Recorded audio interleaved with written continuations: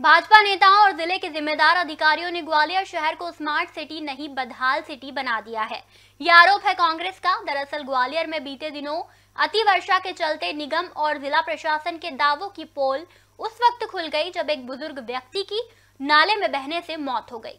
बीते दिनों ग्वालियर में हुई अतिवर्षा के बाद नदी नाले उफान पर थे। इस दौरान सीताराम पाल नाम के एक बुज़ुर्ग व्यक्ति की नाले में बहने से हुई मौत ने शहर में ड्रेनेज सिस्टम और नगर निगम जिला प्रशासन के अधिकारियों के दावों की पोल खोलकर रखती है। गौरतलब है कि जिस नाले में बहने से बुज़ुर्ग व्यक्ति की मौत हुई थी, उस नाले का निर्माण बीते छह साल से चल रहा है, लेकिन निर्माण अब तक पूरा नहीं हुआ। वहीं शहर की अधिकांश सड़कें जर्जर हो चुकी हैं, जिसके कारण आए दिन हादसे हो रहे हैं, लेकिन किसी को जनता जनार्दन की फ़िक्र नहीं है। इसी मुद्दे को लेकर कांग्रेस ने धरना दिया और लापरवाह अधिकारियों के खिलाफ सख्त कार्यवाही करने की मांग की। कि मोहिते गार्डन के पास नाले में बहकर बुज़ुर्ग सीताराम साहू जी की दुखद मृत्यु हो गई। वो अधूरा नाला लगभग छः वर्ष से पड़ा था।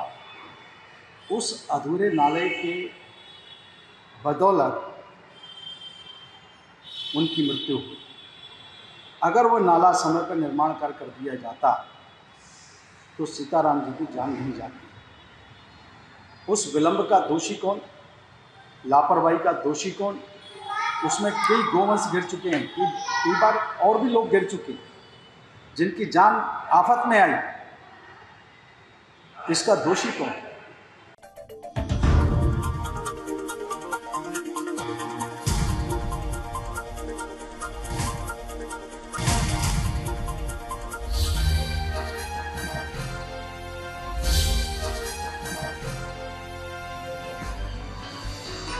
आप देख रहे हैं दखल न्यूज़।